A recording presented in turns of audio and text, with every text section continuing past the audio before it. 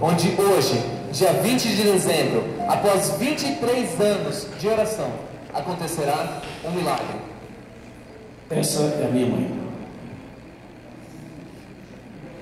Esse é o meu pai.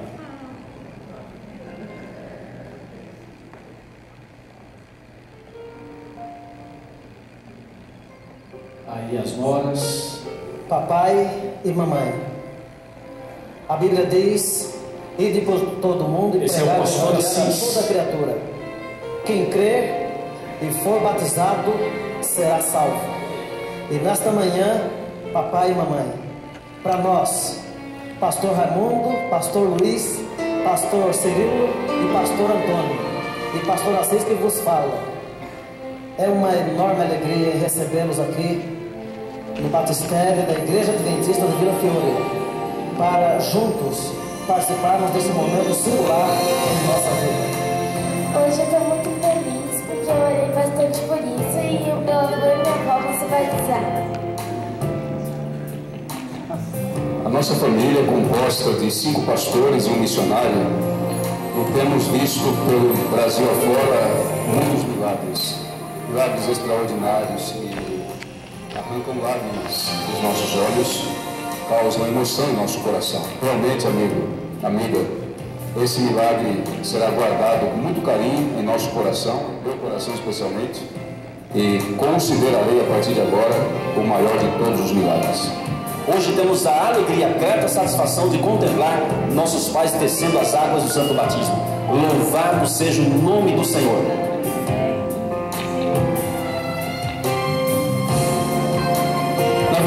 Esposa disse: Olha, o mundo está acabando, porque seu pai tomou a decisão.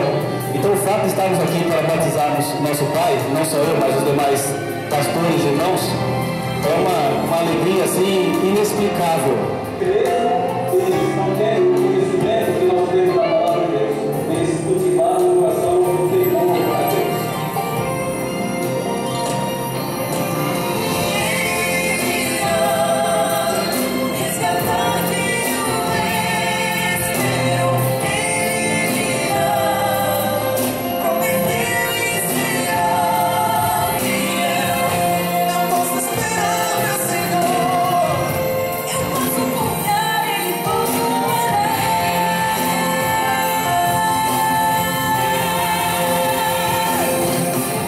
Sou adventista desde 1986 e são mais de 22 anos que eu tenho orado pela conversão dos meus pais.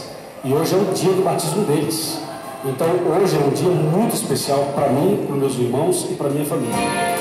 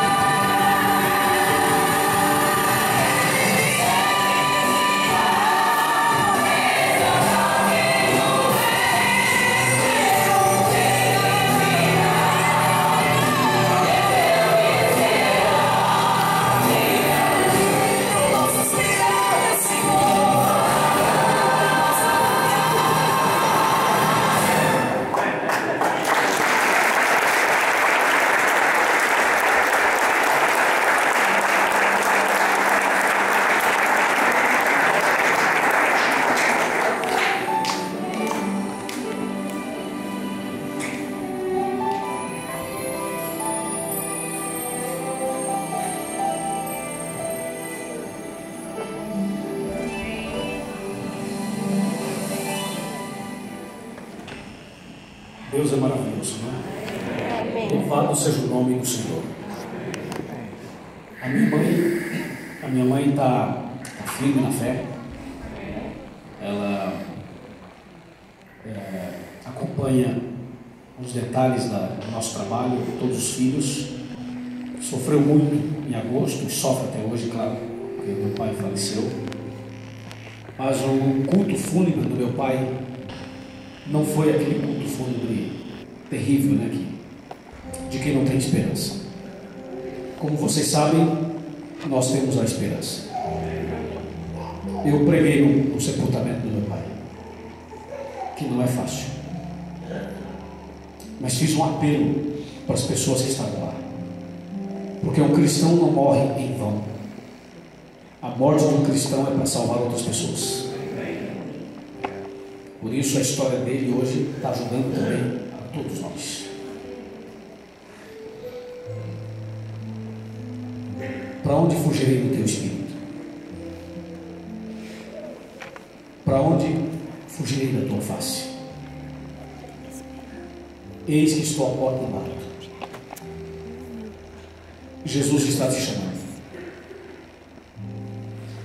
2012 é o ano em que o mundo anuncia a grande tragédia do final do calendário maia com, a, com essa história de que o mundo acabaria em dezembro de 2012. Enquanto o mundo anuncia a grande tragédia, nós anunciamos a grande esperança. E você que já é membro da igreja, permaneça fiel. Permaneça firme na fé. Não permita que as coisas, as picuinhas e os problemas venham abater você espiritualmente. Jamais. Vamos nos unir numa só fé, num só propósito. Você que ainda não é membro da igreja adventista, você será. Nós vamos ajudar você para que seja. Tem alguém aqui, e eu sei que tem, porque o pastor Levi já perguntou no começo, e o pastor Alexandre já orou. Tem alguém aqui que ainda não é membro da igreja adventista? Eu queria que vocês, com muito carinho, se colocassem em pé mais uma vez. Não tenho nenhum tipo de barreiras, nem de preconceitos, nem de medo, nada. Por favor, levante-se. Você que um dia foi membro e se afastou, está afastado ou afastada, levante-se também. Ou você que já é da igreja, mas não é batizado ainda, falta o batismo para você. Levante-se também. Para você que só falta o batismo, levante-se também.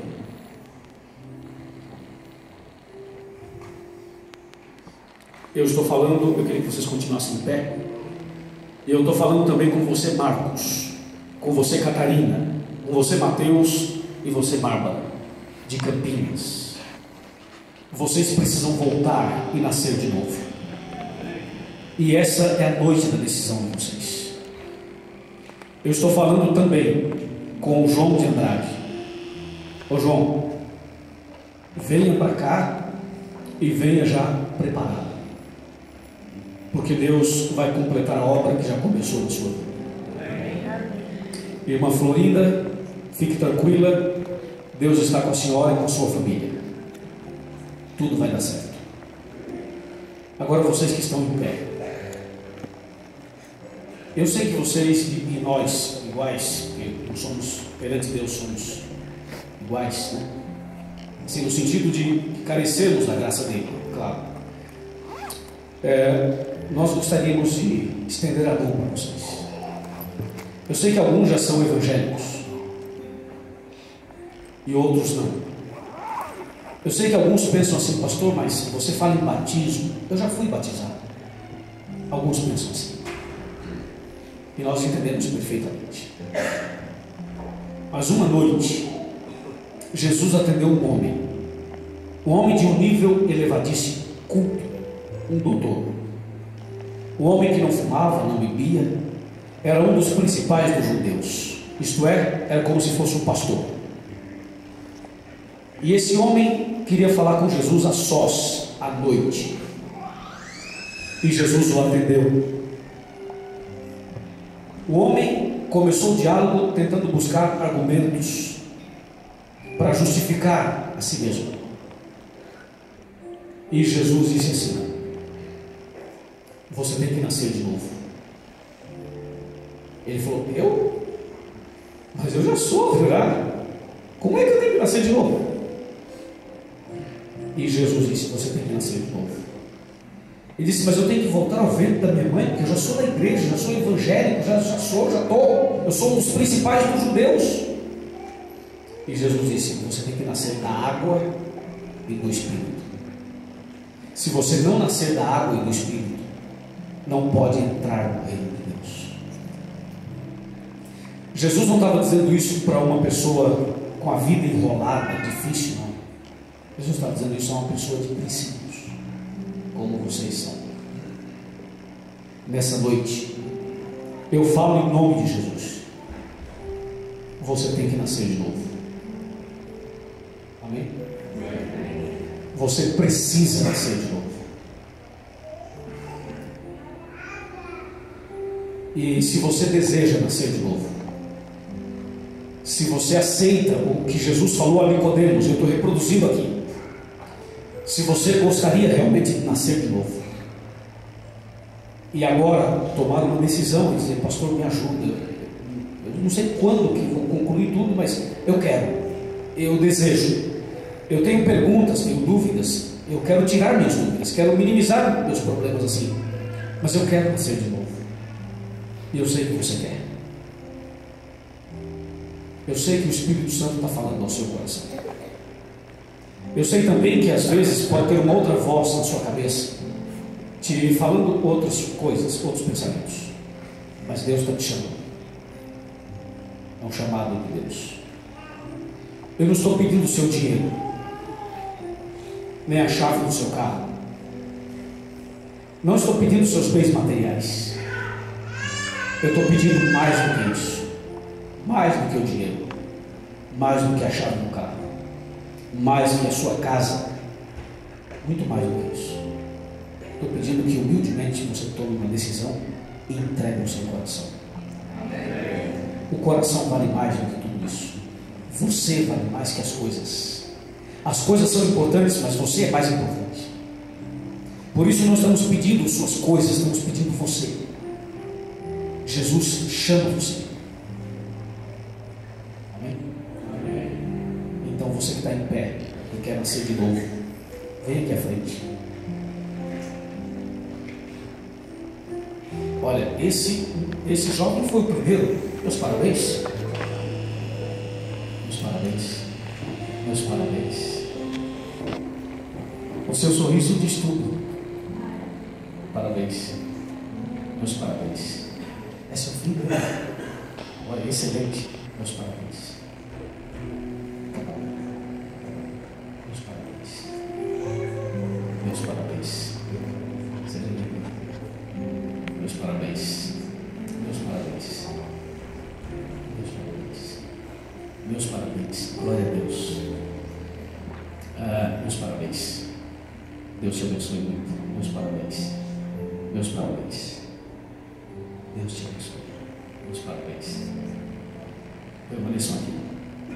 Vocês dois vêm.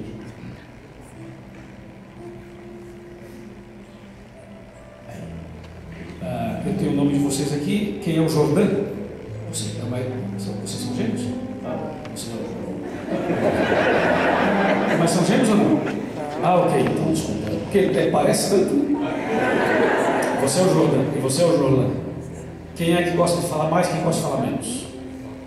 Você fala um pouco mais, é você que eu vou conversar. É, chega mais perto nele. Dá um close nele e aí dá um sinal que já chegou. Quando você chegar, dê o sinal. É, teu pai está te vendo. E eu quero que você fale com o seu pai. Eu quero que você faça um apelo no seu pai, do seu jeito. Chama seu pai para ser batizado junto com você. Ou fale o que você quiser falar, fica à vontade. Mas faça um apelo para ele. Vai. Pai, é, a gente está aqui, graças a Deus, aqui, e a gente está fazendo de tudo para se batizar sábado que vem. Sem ser os próximos outros, o Senhor está vindo e acho que já passou da hora da gente entregar o caminho faz cuidar da nossa vida, porque Ele sabe muito mais do que a gente, e Ele sabe o que é melhor para nós. E não é da nossa capacidade de dizer, mas Ele sabe. E Ele é o caminho, a verdade a vida. Amém.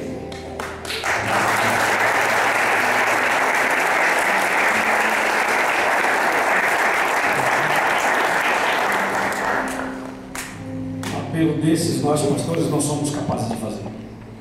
Nem os anciãos, né? Olha que coisa linda ele falou. Falou? Coisa linda. Meus parabéns. Obrigado por você ter feito isso. Irmãos, Deus é grande. Eu quero chamar o Márcio